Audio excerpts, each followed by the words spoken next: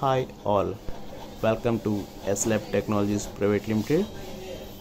We are back with another exciting project. This is a metal detecting robot.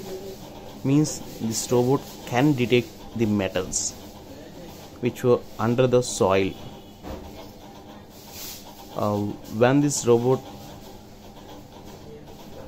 is moving in its path and a metal is detected then this robot stops moving and indicates. Let's check the demonstration of this. For that purpose uh, we are hooked to uh, a DC power supply. For that we are using 9 volts battery. In the front we are using a metal detector sensor it's a metal detecting sensor and a circuit board uh, and a switch and a toggle switch to power it on and off. Some DC motors are used in it. And a metal detect uh, for detection we are using a piece of metal. We have been placed it in front of the robot.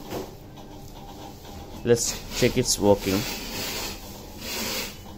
for that purpose I was switching the robot and switch is provided on the back side. Once we switch it off the green lights glows and when the metal is detected the red lights glows and the green goes off and the buzzer starts buzzing